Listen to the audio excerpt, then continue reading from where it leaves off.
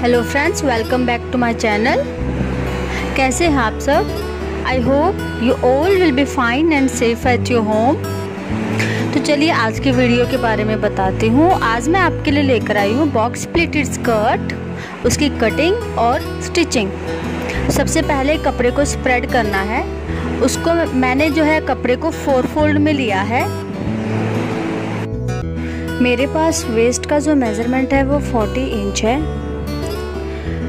और कपड़े को मैंने फोर फोल्ड में लिया है।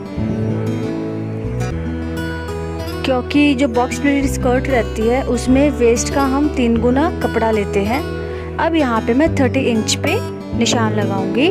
और यहाँ पे मैंने 30 इंच निशान क्यों लगाया है, उसका मैं साथ के साथ में आपको फॉर्मूला बता रही हूँ। तीन तीन इंच की मैं प्लेट्स लगाऊँगी। स्कर्ट की लंबाई है रेडी लेंथ है जो है 21 इंच अब उसमें हम 4 इंच मार्जिन ऐड करके हम निशान लगा देंगे। अब यहाँ से हम आधा इंच मार्जिन छोड़ेंगे। कॉर्नर की जो सिलाई रहेगी स्कर्ट की, उसके लिए। और हर तीन इंच पे हम निशान लगाएँगे।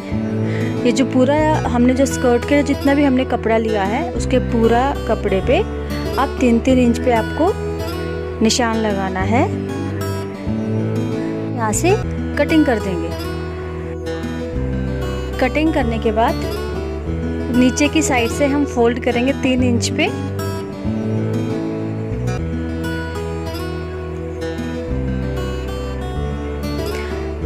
और हमने ये जो टक्स के जो निशान लगाए थे, उनको एक दूसरे की साइड रखेंगे। एक एक निशान को दूसरे निशान की साइड फेस करके रखना है। और उन पे हम पिनअप कर देंगे। आप चाहे तो उसको प्रेस भी कर सकते हैं। ऐसा करने से जो प्लेट्स हैं वो काफ़ी अच्छी बैठती हैं।